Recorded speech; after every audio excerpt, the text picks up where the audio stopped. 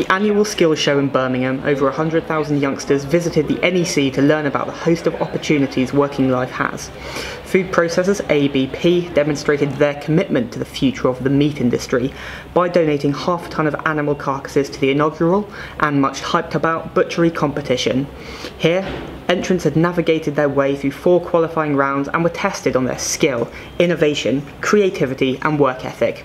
The end goal? Engaging young adults and demonstrating the diversity a role in the meat industry has to offer. The six contestants here today and yesterday have been producing different products. They've been working with beef, lamb and pork and they've been using marinades and different coatings in order to produce kitchen ready, ready to eat and also barbecue products. The accent is really on convenience, it's also on economic use of materials and it's about uh, making products that appeal to the uh, British public. The public demonstrated a clear interest in the World Skills Butchery competition organised by Cambrian Training. But how did the competitors find the event? It's actually not too bad, it's very enjoyable to us.